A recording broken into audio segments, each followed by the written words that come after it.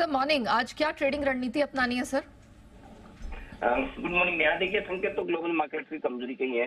कल भारतीय बाज़ार थोड़े से ट्रेडिंग रेंज के ऊपरी सिरे से हल्के भी हुए हैं तो थोड़ा सा मूड तो कमज़ोरी की तरफ़ ज़्यादा है। डॉलर इंडेक्स बॉन्ड ये सारे संकेत ऐसे हैं, और साथ ही इसराइल और हमास के बीच में तनाव कम होने के भी कोई खास संकेत आते हुए दिख नहीं रहे तो ऐसे में थोड़ी कमज़ोरी और बढ़ेगी। ट्रेडिंग रेंज के हायर एंड से लोअर एंड की तरफ़ बढ़ने की कोशिश भारतीय बाजारों की हो सकती है। निफ्टी की आज वीकली एक्सपायरी भी है। अच्छी बात एक ही है कि बैंक निफ्टी में थोड़ी सी कल वीकली एक्सपायरी के बाद पोजीशन हल्की हो चुकी है तो वहाँ पर रिस्क और डर थोड़ा सा कम है। लेकिन फिर भी मुझे लगता है कि थोड़ा प्रेशर तो आज रहना चाहिए। उन्नीस हज़ार पाँच सौ पच्चीस, उन्नीस हज़ार छह सौ, ये अब निफ्टी पर आज के लिए सपोर्ट के तौर पर काम करेगा। ऊपरी स्तरों पर उन्नीस सात सौ पच्चीस, उन्नीस आठ सौ वो रेंज है, जहाँ पर आपको प्रॉफिट बुकिंग और बिकवाली आती हुई नज़र आएगी।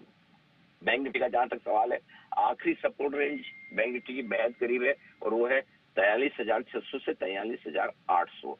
इसके नीचे जाने पर, या बंद होने पर तैयलीस हज़ार छह सौ के नीचे बंद होने पर, बैंक निफ्टी में रिस्क काफ़ी खुल जाती है आगे के लिए। जहाँ तक ऊपर के लेवल का सवाल है चवालीस हज़ार पचास चवालीस हज़ार दो सौ बैंक निफ्टी पर हायर रेंज है जिस पर आपको फोकस करना चाहिए। तो ओवरऑल थोड़ा दबाव वाला माहौल रहेगा ग्लोबल संकेतों के चलते और मुझे लगता है कि भारतीय बाज़ार में थोड़ा सा जो प्रेशर रहेगा उसमें आपको आ, आराम से इंपॉर्टेंट सपोर्ट लेवल के आसपास आए तो ही थोड़ी सी आपको खरीदारी और शॉर्ट कवरिंग करनी है।